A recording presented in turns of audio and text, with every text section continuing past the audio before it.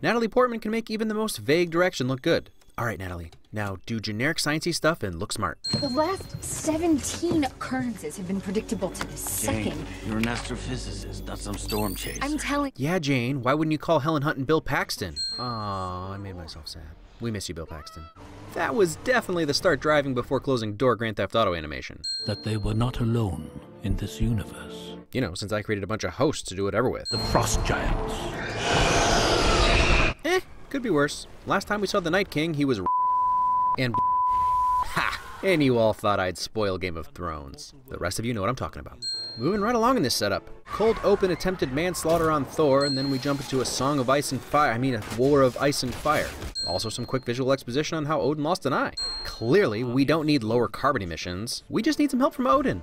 Hmm, was that like a brief fake out to the comic fans that know Asgard is golden? Crystals? What is this, the Fortress of Solitude? Or is this Mount Olympus, like under Asgard? I know Asgard isn't spherical like Earth, but someone with more Thor lore knowledge is gonna have to enlighten me. Absolutely stunning either way. Also, more Thor lore. Only one of you can ascend to the throne, but both of you were born to be kings. There's really no reason to be surprised when Loki tries to take over all the worlds. Mostly something we take for granted in this franchise at this point, but the costumes and helmets and all the expertly designed weapons are really impressive and blend with the mostly CGI environments amazingly. So, are we saying there are two gauntlets, since Thanos has the other one? Table comeuppance. There's nothing you can do without defying Father. No, no, no, no, no, no. Thor may be strong of body, but you have to admire how Loki just played him like a three-year-old. Beautiful beard win, and his hair ain't too shabby either. And who proved wrong all who scoffed at the idea that a young maiden could be one of the fiercest warriors this realm has ever known? I did. True, but I supported you. Helpfulness. They really didn't hold back on the gorgeous imagery, showing off Asgard every chance they got. 15 minutes in and Thor is prettier than most of the films in the MCU. And the background visuals are inspired, like their world seems to be on the cusp of touching different sections of outer space at any moment. I can't seem to escape Idris Elba. He's been in 8 of the 94 movies I've done. Wonder if that means anything. He's always amazing. I just I hate Charles Miner so much. Let me think about it. Never has an enemy slipped my watch until this day.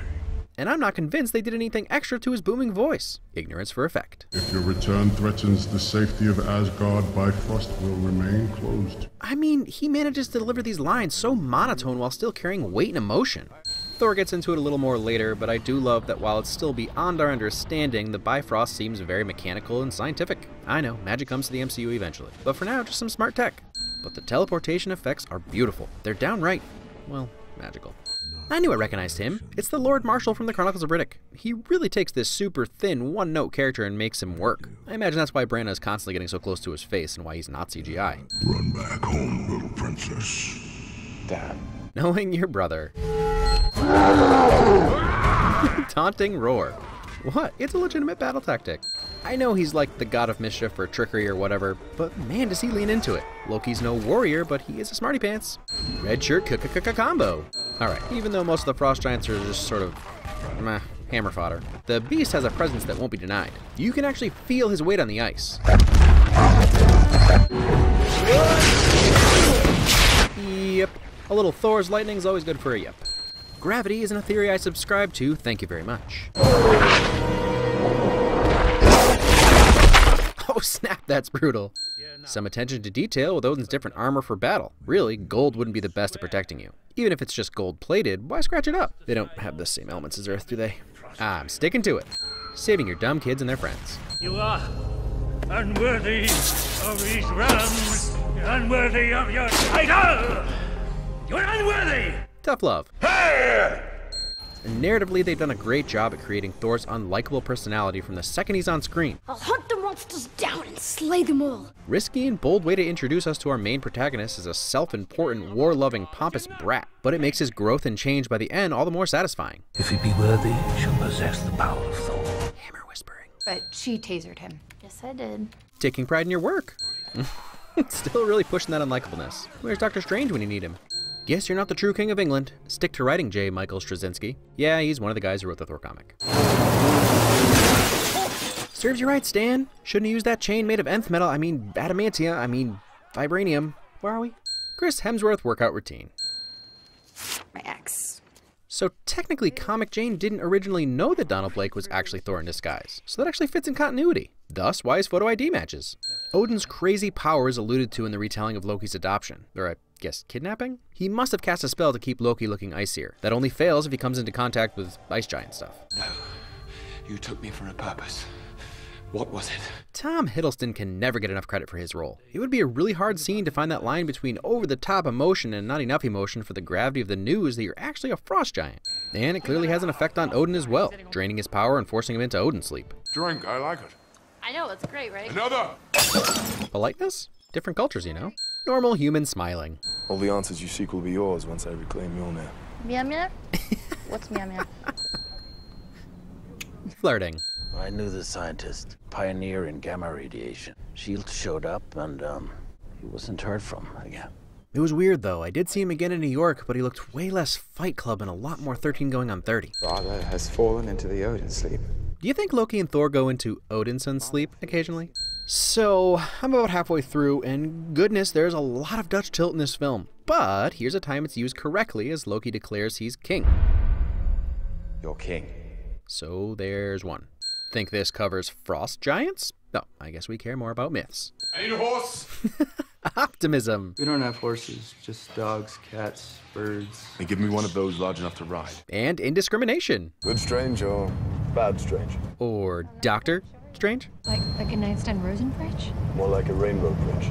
Some say it's the hardest to cross, and falling off the edge is far too easy when you're on a go kart. Agent down. We've got a perimeter breach. It's like Thor doesn't even know who Sam Fisher or Solid Snake is. I guess presumed god powers make you not worry about that stuff. Okay, I did exactly what you told me not to. I'm sorry. Eh, honesty. Ha! Like he'd even reach for the gun. Though I guess Coulson did specifically request one. I need eyes up high with a gun. Or is this like the quickest, goofiest origin for Hawkeye? So I thought to myself, nah, feels like a bow kind of night. Will someone please just shoot Sitwell? We have previously established in Jack Reacher that final fights in the rain are a win. This isn't exactly a final fight, but I'll let it slide. Especially since it ends in a dropkick. Huh, sort of expectation subversion with a swelling score. Even Cap budged it, Thor. You must really not be worthy.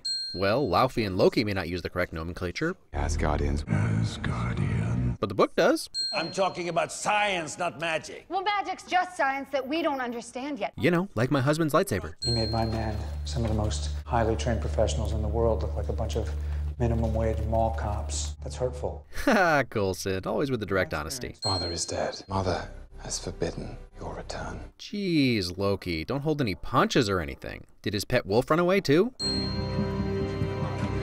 No Excalibur moment for you either, Loki. Father and I taught at university together. Yeah, one time I got this real troubled kid pawned off on me. Good at math, likes apples. You'd love him. So you're the one who showed us the way into Asgard.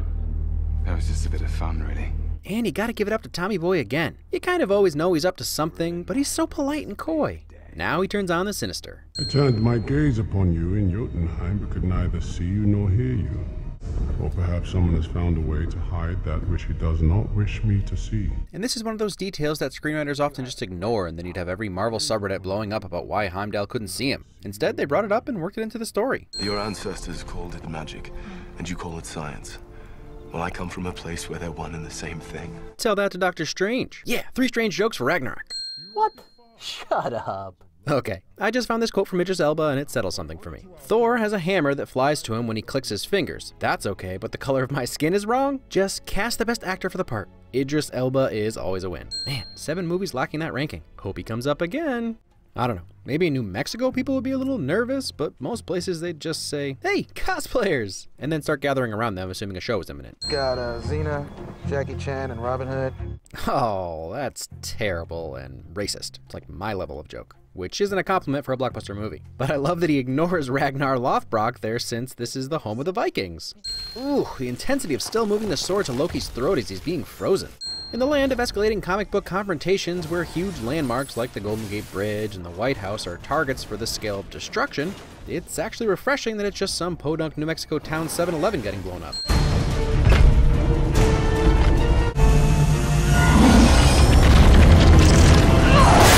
Teamwork! I'll take your teamwork and raise you a T1000 reverse my body move.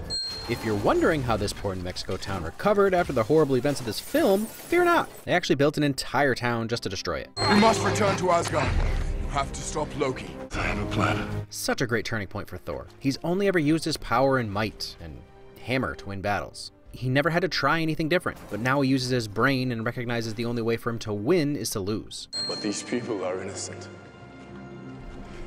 Taking their lives will gain you nothing. So take mine. Self sacrifice. And if you want to talk about a petulant child, Loki does the fake out, nah, it's fine, and then instead of a quick incineration death, backhands Thor.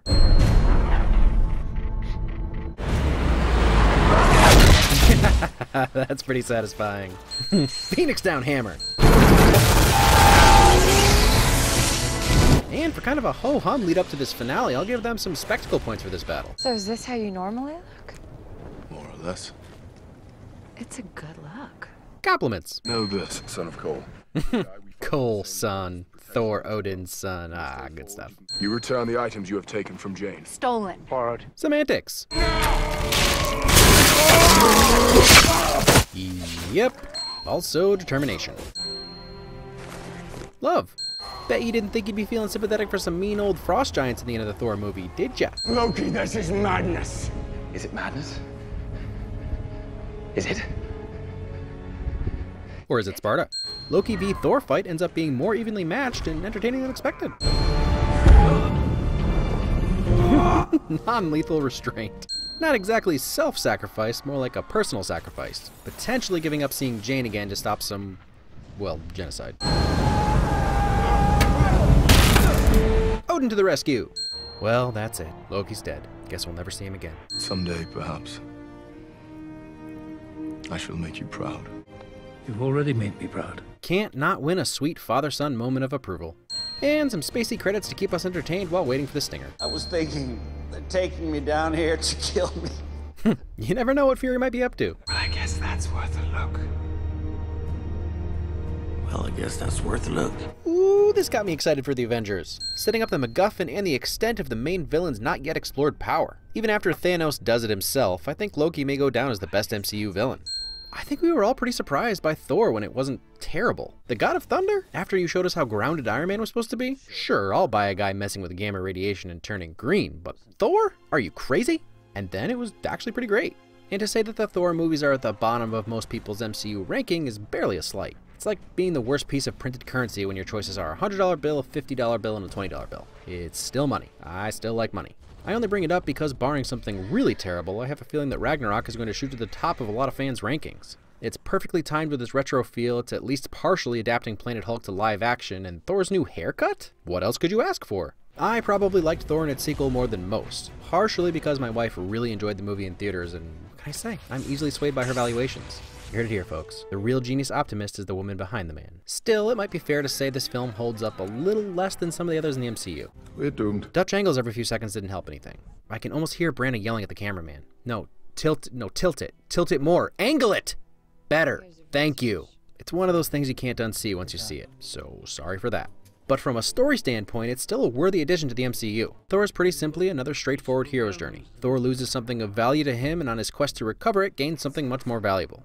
It can feel a little overdone, but when done well, it's a story I don't think I'll ever stop appreciating. A man, god, alien, whatever, who has everything he could ever want. His only real trials have been in battle, and that shaped him into the arrogant, greedy child he is. It isn't until his power is stripped that he learns the value of life, relationships, and selflessness. His character arc is fairly uncomplicated, especially when contrasted with Loki the schemer. Loki is equally as self-serving, but hasn't had everything handed to him in the same way that Thor has. Loki's always been one for mischief. So he learned to connive and trick to get his way. I really love Loki in this film. You genuinely don't know what he'll do next, or what he's already done, and he's mostly a sympathetic character who feels like he has no true family and just wants his father's approval and admiration. So the story was great, but you can't deny the CGI, especially the environments. Everything about Asgard is breathtakingly beautiful. Different color palettes are used to distinguish the three main locations from each other in an identifiable way. Asgard is bright and shiny, Jotunheim is dark, blue, and cold, and Earth is, well, pretty much Earth in the American Southwest. But it's deliberately the only place we feel at home, making Thor stand out as inhuman. And I've only been to the Southwest a handful of times, so don't tell me it was foreign to you Antarcticans. While I praised Wonder Woman for making a definitive statement about Greek gods in the DCEU, I also still appreciate the interpretation of Norse gods as aliens. What's the difference, really? Like Jane and Thor say. Your ancestors called it magic, and you call it science. Well, I come from a place where they're one and the same thing. Just science that we don't understand yet. Asgardian or Aesir level vulnerability, mortality, and strength are never really quantifiably established, and I like that air of mystery. The case could be easily made that Ares, Diana, Zeus, and the Amazons are also just alien beings with properties that we don't or can't comprehend as humans. I don't think that's what they're saying, but it doesn't bother me. Kinda like DS9's wormhole alien prophets. Whoa, easy with the Star Trek references there, champ. Moving along. Chris Hemsworth and Tom Hiddleston obviously carry this movie, the latter of which really, really impressed me. Loki has some of the best moments in the film. But the casting of Captain Kirk's dad for a minute paid off for sure. Natalie Portman is an amazing actress even when she's in bad movies. Unfortunately, she's not given a whole lot to do in this film. It's all sort of filler stuff. Her character is still set up pretty well, and even if there isn't a whole ton of relationship building between Thor and Jane, their chemistry is still pretty great. Maybe it's just because they're both so pretty. Stellan Skarsgård is another actor who just never disappoints and rounds out the cast really well. Rene Russo is way underused, but it seems like Kenneth Branagh was able to pull a bunch of actors in regardless of the roles they'd have. Although Anthony Hopkins may have lowered his standards a tad since this film. I've been hard on Branagh, and I need to say I think he's a fine and at times great director and actor. And I'm really looking forward to Murder on the Orient Express. Thor was a great intro for these characters, especially Loki being the first villain for the Avengers, and if you couldn't tell, I'm stoked for Ragnarok. Some good news and bad news for next week. Good news is next week is my anniversary, bad news is no time for a new video. But good news is that I'm going to re-edit and re-upload Kung Fu Panda in the short time I have, since it bizarrely got blocked after a year and a half. So it's a bad news sandwich, but that makes it sound bad. It's, it's just because the good news is the bread. It's, uh, it's a good news lasagna. Anyway, Kung Fu Panda will be back. Alright, I'm out.